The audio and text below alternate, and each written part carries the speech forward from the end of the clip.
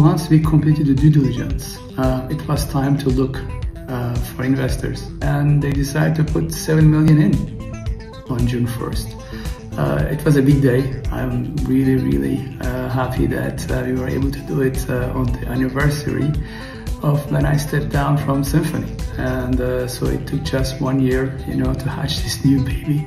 With that, we start thinking about, okay, uh, the foundations of, of Hive. You know, what are the things that we must nail to make sure that we reduce the execution risk.